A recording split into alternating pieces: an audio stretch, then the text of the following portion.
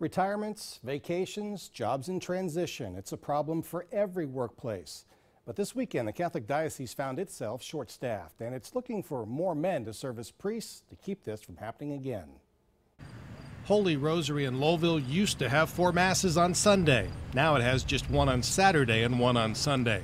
This weekend, a deacon was leading one of the services. Well, we just found ourselves in a situation where, after making about 12 phone calls, we could not find someone to preside at the 4:30 mass on Saturday. The diocese had a dozen positions to fill this past weekend between vacations, illness, and other circumstances. Some churches have parish leaders who are not ordained, and sacramental leaders have to be provided. The church is battling to overcome five priest retirements plus four deaths, which has reduced the number of men who can serve.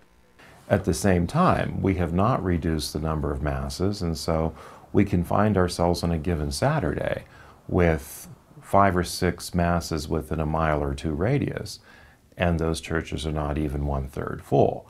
The church is covering approximately 80 parishes with 135 priests in the six county diocese.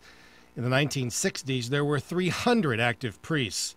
Father Jarek admits the church is considering more consolidation.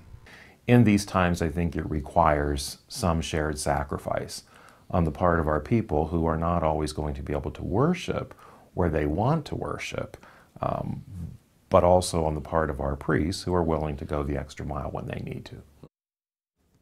What about the future? Another four priests could retire next year. There are 21 men now in the seminaries, but they won't be available for a few years.